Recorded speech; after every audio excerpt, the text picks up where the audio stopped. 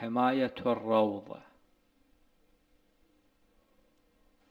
والحماية بالمعنى العام وهي حماية المدينة.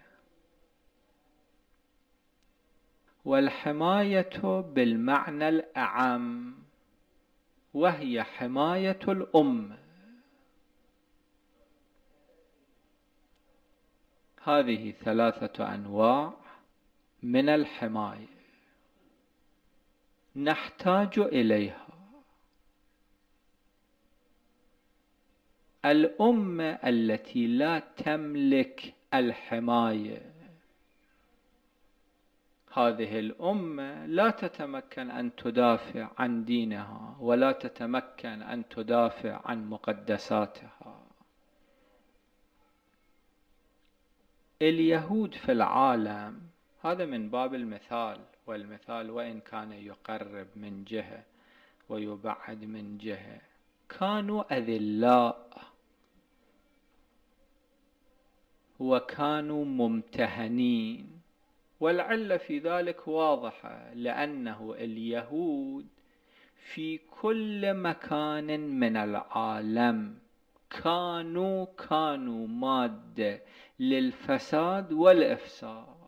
في كل مكان. هذا دأبهم.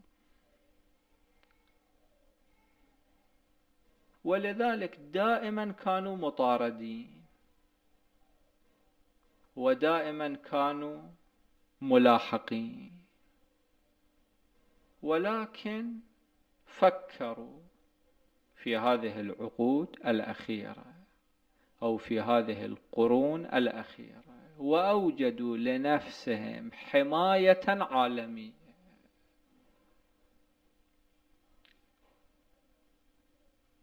أحد المفكرين الذين أسلموا في بلاد الغرب هذا في تلك البلاد التي تدعي الحرية يقولون بلادنا بلاد الحريات. هذا أثبت بالأدلة والبراهين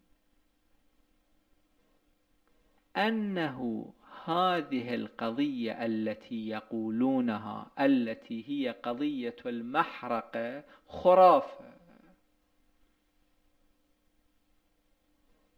يقولون ما أدري كم مليون يهودي أحرقوا قتلوا كذا. هذه خرافة أو على الأقل بهذا الشكل الذي يطرحونه. أخذوا ذلك مع أنه مناقشة في قضية تاريخية مجرد مناقشة. أخذوا ذلك المفكر حاكموه فعلوا به ما فعلوا.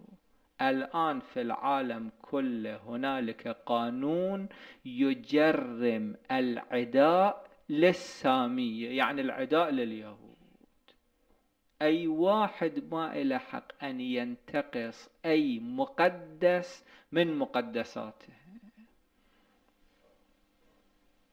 الأمة تحتاج إلى حماية. ونحن فقدنا هذه الحماية. ولذلك تشوفون في كل مكان في هذا العام في أفغانستان مواكب العزاء على سيد الشهداء صلوات الله عليه تعرضت للهجوم والاغتيال والقتل والتفجير. وفي باكستان أيضا وفي العراق أيضا.